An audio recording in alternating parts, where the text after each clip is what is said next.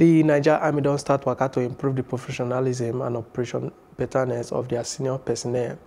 The Army do their second seminar for career planning and management for Naija Army officers for the Army Resource Center inside Abuja. The Chief of Army Staff, Lieutenant uh, Tukur Buratai, he said the seminar na to equip the Army to manage their cadre of senior officers well. General Buratai said this one it go expose the strength of soldiers so that they can help them operate for their highest capacity. Seminar will enable the department to interact with you and get helpful feedback that will enable it to reposition towards addressing the fast evolving issues in career management and planning, career management planning and military human resource management.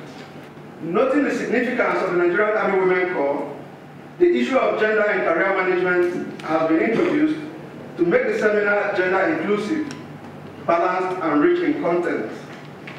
I believe that the nature of topics selected and caliber of resource persons invited guarantee both the presentations and interactive sessions will be educative and highly interactive. The theme of this seminar, career planning and management in the Nigerian Army as a means to sustaining professionalism and effective responsiveness in Nigerian Army operations, quote unquote, is carefully selected to focus career planning in a period the Nigerian Army is involved in operations against myriad of security challenges facing the country. At the end of this seminar, you will be better equipped to manage the career of officers in and out of operations with a focus on providing effective leadership for the men.